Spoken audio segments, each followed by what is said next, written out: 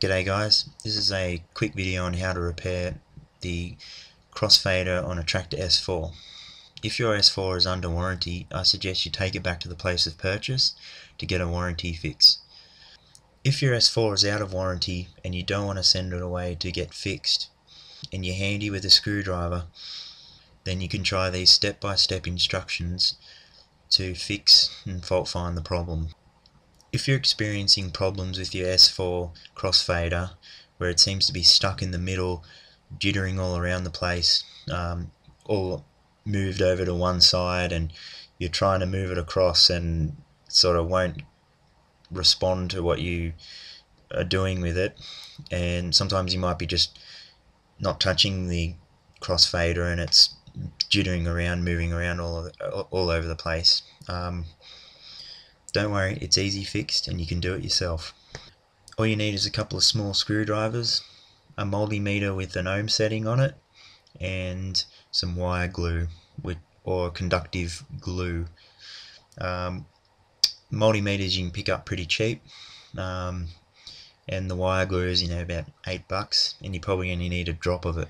First thing to do is to turn it off, remove any plugs, and then pull the crossfader knob off and then flip it over remove all the screws in the back. Now this is the thing that will avoid the warranty and that's punching that hole and getting the last screw. Okay this is the um, crossfader circuit board. There's two screws as you can see.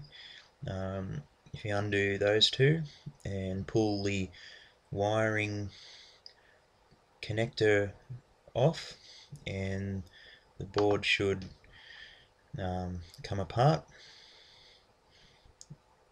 Now this is the crossfader circuit board.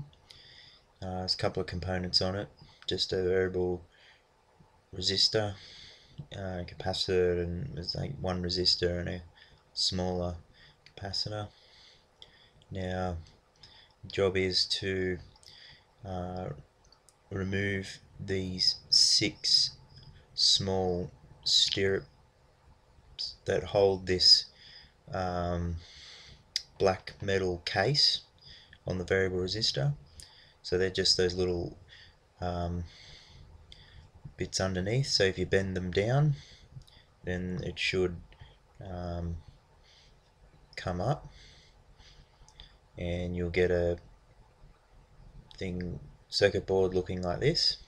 Um, basically that's my repaired one. Um, but as you can see there's a solder tab um, and then it connects onto some kind of alloy uh, based um, strip. And then uh, on in that strip there's uh, like probably a carbon based uh, resistor. Now I drew this cartoon sort of drawing of it because um, you'll need to measure the resistances of those strips. Um, basically the slider that slides along this has um, you probably see these two uh, little wipe like they call like wipers that will run along the track and basically that as shorts out those two um, tracks that are side by side and then that creates the variable resistor as it slides along you get different values. So um, basically you need to measure these uh, resistor strips. Now if you put your multimeter onto the ohm setting um, and put your probes from one end to the other on the second strip, well the two strips in the middle um, you should get a reading of about 10,000 ohms and the other strips you should get a reading of about 0 ohms which is no resistance, should be just conductive. Um, so you do that one for the top one and do that for the bottom one. On my S4 I had an open circuit which was an infinite ohm reading.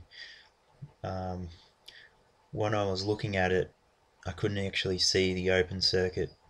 It was probably just a hairline fraction. So what I ended up using to bridge that small gap was just a, a bit of um, glue wire, which is a carbon based glue. Um, basically, you just dab it on um, using like something really fine, like a end of a small jeweler's screwdriver or a matchstick. Um, just put a tiny little dab, and that's all it needed, and allow that to dry for a, a few hours and set, and then measure your resistance again and to what the values were that I showed you before um, and if that's all fixed um, it's a matter of just putting it back together and should be back up and DJing in no time